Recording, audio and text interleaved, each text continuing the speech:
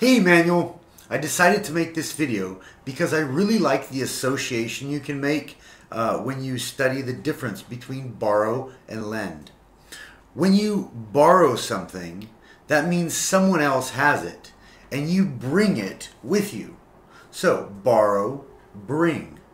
When you lend something, that means you have it and you leave it with that person. So lend, leave. Borrow, bring, lend, leave. Remember, borrow and lend are temporary situations. It's different from give and get, usually.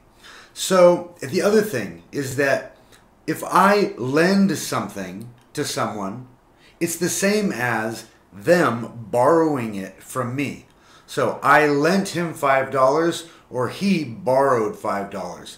The thing is going in the same direction. Okay? I hope that helps. That's one kind of easy way for you to remember uh, the difference between borrow and lend. Borrow, bring, lend, leave.